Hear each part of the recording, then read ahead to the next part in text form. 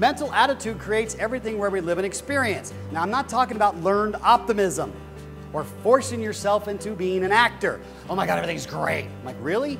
Is everything great? Everything. Really?